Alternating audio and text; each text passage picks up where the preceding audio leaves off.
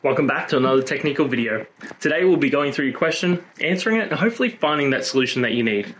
Guys, remember to stay just a little bit crazy like me, and hopefully you find that resolution you need.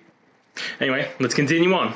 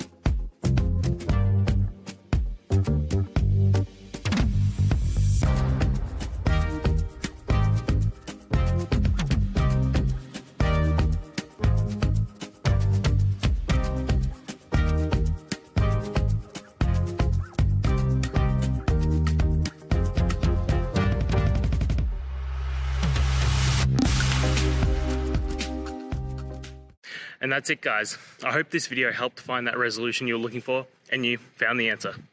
Guys, please hit subscribe if it helped, and I'd really appreciate it. I'll see you next time on another one of these technical videos. Have a good one.